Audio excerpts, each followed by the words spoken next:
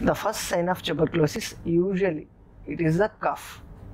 So you should remember that the symptoms of tuberculosis are not alone and not omnistic. Means they can be varied. The common symptom is cough. Other symptoms including cough will have an expectoration or sputum production. The sputum when comes with an infection with tuberculous bacteria is usually yellow or greenish in color sometimes there may be blood in the sputum. That is a serious indication. And also the other symptoms are fever. Means the fever of a, in a tuberculosis infected patient will be usually low grade. That is it will be ranging from 100 degrees to 120 degrees. And also mostly it will be in the night times. Means evening rise of temperature. Throughout the day the patient will be feeling better. But at the end of the day as it uh, comes to the evening the fever starts to rise and he will feel very weak.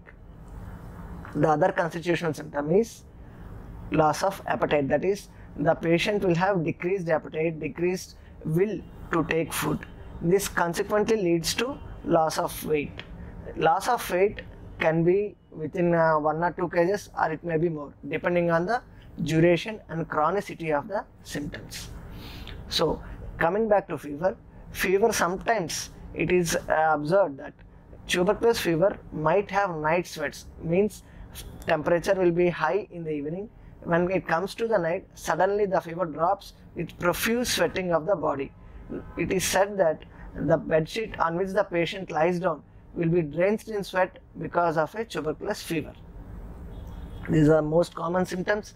Other symptoms depending on the disease and the severity of disease are breathlessness when bacteria infects most of the both lungs then the patient starts developing breathlessness. This breathlessness may be initially seen on exertion that is while work, doing work and it may progress to while patient is just sitting and he may develop severe breathlessness